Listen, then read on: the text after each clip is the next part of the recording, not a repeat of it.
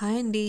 Welcome to Shanti's creative corner. మీరు నా channel కనుక ఫస్ట్ టైం చూసినట్లయితే నా ఛానల్ని సబ్స్క్రైబ్ చేసుకోకపోతే please subscribe to my channel and పక్కనే ఉన్న బెల్ సింబల్ క్లిక్ చేయండి. నా నెక్స్ట్ వీడియోస్ నోటిఫికేషన్స్ కోసం. ఇప్పుడు వర్క్ ఎలా చేసుకోవాలో చూద్దాము. ఫస్ట్ నెక్ అవుట్లైన్ని డ్రా చేసుకోవాలి. తర్వాత నేను ఇక్కడ సింగిల్ జరీ థ్రెడ్ని తీసుకుని చైన్ స్టిచ్ అంటే కొలుసుకుంటూ ఫస్ట్ నెక్ అవుట్లైన్ అంతా కూడా కుట్టుకోవాలి. ఇక్కడ మీరు జరి థ్రెడ్కి బదులుగా సిల్క్ థ్రెడ్ని కూడా యూస్ చేయొచ్చు. ఒకవేళ మీరు సిల్క్ థ్రెడ్తో వర్క్ చేసుకోవాలి అనుకుంటే రెండు వరుసల గోల్డ్ కలర్ సిల్క్ థ్రెడ్ని తీసుకుని సేమ్ ఇదే విధంగా చైన్ స్టిచ్ అంటే కొలుసుకుంటూ వేసుకోవాలి.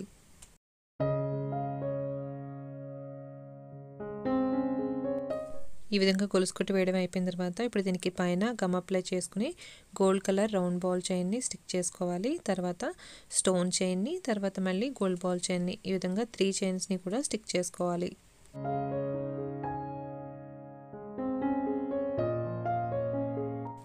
ఈ విధంగా త్రీ చైన్స్ స్టిక్ చేయడం అయిపోయిన తర్వాత గమ్ కొంచెం ఆరిన తర్వాత నార్మల్ మెషిన్ థ్రెడ్ని తీసుకుని త్రీ చైన్స్కి కూడా దగ్గర దగ్గరగా టాకాలు వేసుకోవాలి.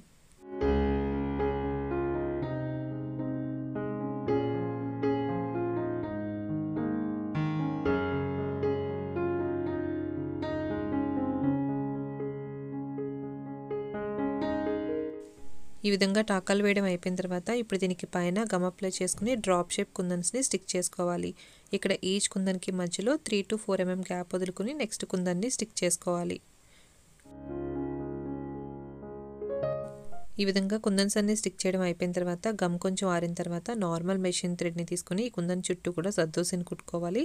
దానికోసం ఈ విధంగా జద్దోసిని ఎక్కించుకొని నిడిల్ని కిందకి దించేసుకోవాలి. ఇప్పుడు ఈ జద్దోసికి కుందన్ చుట్టూ కూడా టాకాలు వేసుకోవాలి. సేమ్ ఇదే విధంగా అన్ని కుందన్స్ చుట్టూ కూడా జద్దోసిని కుట్టుకోవాలి.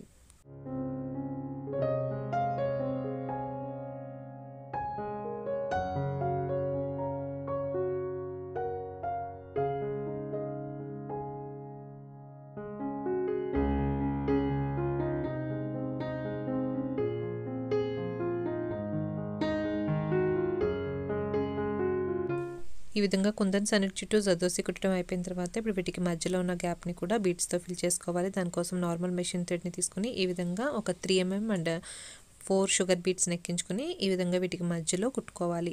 ఈ షుగర్ బీట్స్కి మధ్యలో ఒక టాకా కూడా వేసుకోవాలి. ఈ విధంగా గ్యాప్స్ అన్నిటిని కూడా బీట్స్తో ఫిల్ చేసుకోవాలి. ఈ విధంగా గ్యాప్స్ అన్ని బీడ్స్తో ఫిల్ చేయడం అయిపోయిన తర్వాత కంప్లీట్గా కుట్టడం అయిపోయిన తర్వాత blouse front side neck look ఈ విధంగా ఉంది. చాలా simple and easy work same ఇదే బోర్డర్ని మీరు బ్లౌజ్ హ్యాండ్స్కి కూడా వేసుకోవాలి. అండ్ బ్లౌజ్కి మధ్యలో బూటీగా ఈ విధంగా ఎలిఫెంట్ డిజైన్ని డ్రా చేసుకోవాలి. ఈ విధంగా ఎలిఫెంట్ డిజైన్ని డ్రా చేయడం తెలియని వాళ్ళు ఈ ఇమేజ్ని స్క్రీన్ షాట్ తీసుకుని కార్బన్ పేపర్ని యూజ్ చేసి క్లాత్ మీద ట్రేస్ చేసుకోవచ్చు. ఈ విధంగా డిజైన్ని క్లాత్ మీద ట్రేస్ చేసుకున్న తర్వాత దీని అవుట్లైన్ అంతటిని కూడా గమ్ అప్లై చేసుకుని గోల్డ్ బాల్ చైన్ని స్టిక్ చేసుకోవచ్చు. లేదంటే నార్మల్ మెషిన్ థ్రెడ్ని తీసుకుని షుగర్ బీట్స్ నెక్కించుకుని గమ్తో స్టిక్ చేసుకోవచ్చు. ఇక్కడ నేను నార్మల్ మెషిన్ థ్రెడ్ని తీసుకుని ఈ విధంగా షుగర్ బీట్స్ నెక్కించుకుని అవుట్లైన్ అంతటికీ కూడా గమ్ అప్లై చేసుకుని ఈ విధంగా స్టిక్ చేసుకుంటున్నాను. మీరు కావాలనుకుంటే గోల్డ్ బాల్ చైన్ని కూడా స్టిక్ చేసుకోవచ్చు. ఈ విధంగా స్టిక్ చేసుకుంటున్నప్పుడు కార్నర్స్ వచ్చినప్పుడు నీడిల్ని కిందకి దించేసుకొని తర్వాత మళ్ళీ నీడిల్ని పైకి తీసుకుని నెక్స్ట్ డైరెక్షన్ వైపు కుట్టుకోవాలి. ఈ విధంగా ఫస్ట్ అవుట్లైన్ అంతటికీ కూడా బీట్స్ని స్టిక్ చేసుకోవాలి. తర్వాత ఈ బీట్స్ అన్నిటికీ కూడా నార్మల్ మెషిన్ థ్రెడ్తో టాకాలు వేసుకోవాలి.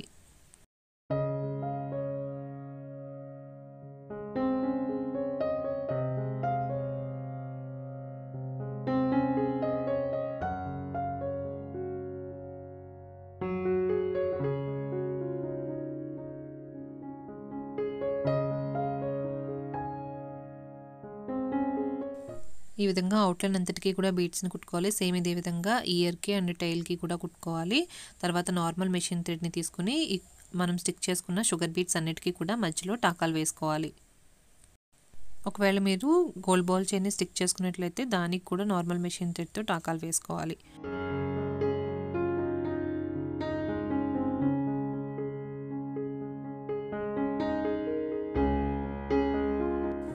ఈ విధంగా టాకాలు వేయడం అయిపోయిన తర్వాత ఇప్పుడు ఇయర్కి అండ్ లెగ్స్ అన్నిటికీ కూడా కింద స్టోన్ స్టోన్ చైన్ని స్టిక్ చేసుకోవాలి. ఈ విధంగా గమ్ అప్లై చేసుకుని స్టోన్ చైన్ని పీసెస్గా కట్ చేసుకుని ఈ విధంగా స్టిక్ చేసుకోవాలి. అదేవిధంగా ఇయర్కి కూడా స్టిక్ చేసుకోవాలి.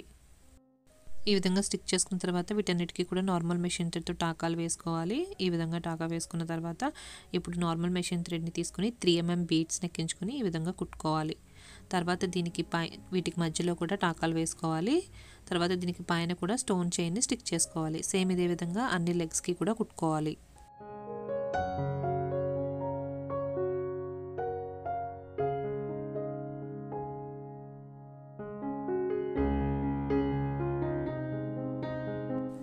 ఈ విధంగా స్టిక్ చేసుకున్న తర్వాత స్టోన్ చైన్స్ అన్నిటికీ కూడా టాకాలు వేసుకోవాలి.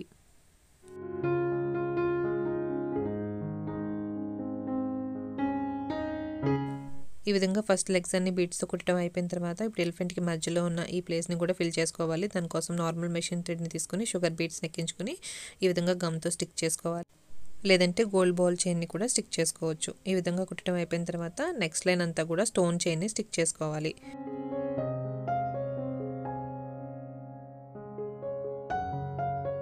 ఈ విధంగా స్టిక్ చేసుకున్న తర్వాత నెక్స్ట్ లైన్ అంతా కూడా మళ్ళీ షుగర్ బీట్స్ని కుట్టుకోవాలి. లేదంటే గోల్డ్ బాల్ చైన్ని కూడా స్టిక్ చేసుకోవచ్చు. ఈ విధంగా కుట్టడం అయిపోయిన తర్వాత ఇప్పుడు ఈ చైన్స్ అన్నిటికీ కూడా నార్మల్ మెషిన్ థ్రెడ్తో టాకాలు వేసుకోవాలి. ఈ విధంగా కుట్టడం అయిపోయిన తర్వాత ఇప్పుడు రెండు వరుసల గోల్డ్ కలర్ జరీ థ్రెడ్ని తీసుకుని ఫస్ట్ ఈ విధంగా కార్నర్ నుంచి తీసుకుని నెక్స్ట్ కార్నర్లో ఈ విధంగా కిందకి దించేసుకోవాలి. ఈ విధంగా క్రాస్ లైన్స్ని కుట్టుకోవాలి.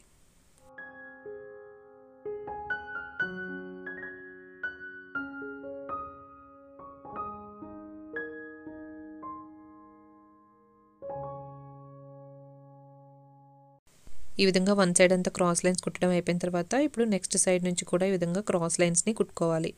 ఇప్పుడు మనకి ఈ విధంగా స్క్వేర్ బాక్సెస్ లాగా వస్తాయి కదా వీటికి మధ్యలో కూడా ఈ గోల్డ్ కలర్ జరీ థ్రెడ్తోనే టాకాలు వేసుకోవాలి. ఈ విధంగా ప్రతి లైన్ క్రాస్ అయిన చోట కుట్టు వేసుకోవడం వల్ల మనకి థ్రెడ్స్ కూడా మూవ్ అవ్వకుండా ఉంటాయి.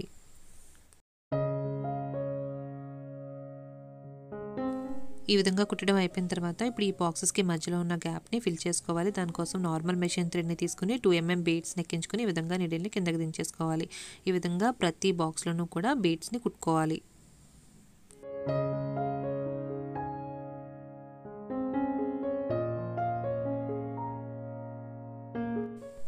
ఈ విధంగా బాక్సెస్ అన్నిటిని కూడా బీట్స్తో ఫిల్ చేసుకోవాలి. ఇది కుట్టడం అయిపోయిన తర్వాత ఇప్పుడు ఎలిఫెంట్ బాడీ అంతటిని కూడా థ్రెడ్తో ఫిల్ చేసుకోవాలి. ఇక్కడ నేను సాటిన్ స్టిచ్తో ఎలిఫెంట్ బాడీ అంతటిని కూడా ఫిల్ చేసుకోవాలనుకుంటున్నాను. ఈ విధంగా ఫిల్ చేసుకుంటున్నప్పుడు మనము ఒకే డైరెక్షన్లో మొత్తం ఎలిఫెంట్ అంతటిని కూడా ఫిల్ చేసుకోవాలి. ఇక్కడ నేను ఆరు వరుసల బ్లూ కలర్ సిల్క్ థ్రెడ్ని తీసుకుని ఈ విధంగా క్రాస్గా మొత్తం ఎలిఫెంట్ డిజైన్ అంతటిని కూడా ఇదే విధంగా క్రాస్గా ఫిల్ చేసుకోవాలనుకుంటున్నాను. నీడిల్ని ఈ విధంగా కింద నుంచి తీసుకుని పైన క్రాస్గా కిందకు దించేసుకోవాలి. సేమ్ ఇదే విధంగా క్రాస్గానే మొత్తం ఎలిఫెంట్ డిజైన్ అంతటిని కూడా ఫిల్ చేసుకోవాలి. ఇక్కడ మీరు ఈ సాటిన్ స్టిచ్కి బదులుగా చైన్ స్టిచ్ని కూడా యూస్ చేసి ఎలిఫెంట్ అంతటిని కూడా ఫిల్ చేసుకోవచ్చు. ఇక్కడ నేను ఎలిఫెంట్ డిజైన్ అంతటిని కూడా సాటిన్ స్టిచ్తో ఫిల్ చేస్తున్నాను కాబట్టి ప్రతి పార్ట్ని కూడా ఒకే డైరెక్షన్లో ఫిల్ చేసుకుంటున్నాను. సో స్కిప్ చేయకుండా మొత్తం ఎలిఫెంట్ డిజైన్ అంతటిని కూడా ఏ విధంగా ఫిల్ చేస్తున్నాను అనేది చూడండి. ఎందుకంటే ఈచ్ పార్ట్ని డిఫరెంట్ డిఫరెంట్ డైరెక్షన్స్లో మీరు ఫిల్ చేసుకుంటే ఎలిఫెంట్ లుక్ అనేది అస్సలు బాగుండదు. సో మొత్తం అంతా కూడా ఒకే డైరెక్షన్లో ఒకే విధంగా ఫిల్ చేసుకోవాలి.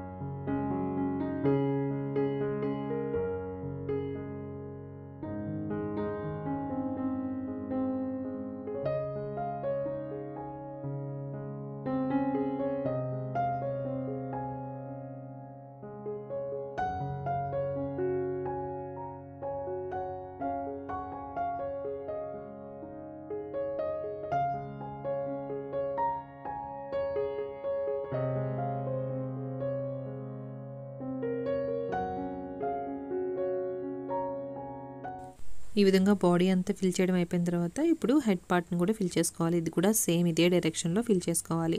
మనం కింద క్రాస్ అనేది ఏ డైరెక్షన్లో వేసుకున్నామో అదే డైరెక్షన్లో హెడ్ని కూడా ఫిల్ చేసుకోవాలి.